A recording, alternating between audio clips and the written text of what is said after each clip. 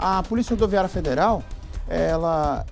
Não vai falar da operação da Polícia Rodoviária Federal, não é isso? Ô, ô, ô Ivan, você tem informação?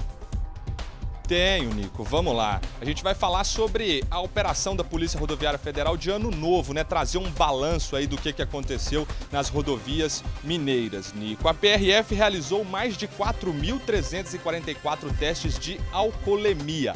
96 motoristas foram flagrados dirigindo embriagados. Dois deles foram presos, Nico. Entre outros números, quase 8 mil veículos foram fiscalizados e cerca de 9.686 pessoas foram abordadas na operação de Ano Novo. Nico, você acompanhou, claro, aqui no final do ano passado, nós, nós mostramos, exibimos várias matérias no Balanço Geral com as orientações da Polícia Rodoviária Federal. E mesmo assim, Nico, não foi possível evitar que 138 motoristas efetuassem ultrapassagem em local proibido. Além deles, 156 outros condutores foram flagrados dirigindo sem o uso do cinto de segurança. Mesmo com o esforço da Polícia Rodoviária Federal, com toda a conscientização que foi passada aqui no final do ano passado, não foi possível evitar também 74 acidentes de trânsito em todas as rodovias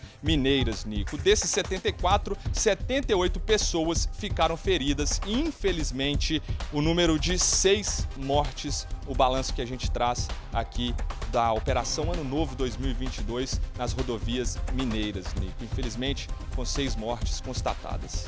É, Minas Gerais guarda a maior malha é, rodoviária de competência federal, né? Daí, Ivan, a razão porque a gente tem esses resultados incríveis aí e assustadores, né?